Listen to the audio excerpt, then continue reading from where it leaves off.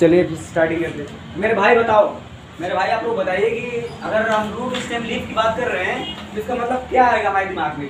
कोई आदमी आएगा जानवर आएगा कोई प्लांट आ जाएगा। प्लांट प्लांट आएगा?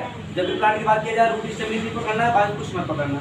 हाँ उसके अंदर अगर आप एंट्री मारते हैं तो उसके अं-, अगर अंदर एंट्री मारते हैं तो उसमें ढेर सारी ब्रांचेस मिलती हैं और ढेर सारे रूट की हेयर मिलते हैं जड़ जड़ के बाल मिलते हैं ठीक है? जैसे एक प्राइमरी रूट मैंने बताया दी कल तो प्राइमरी के बाद ढेर सारे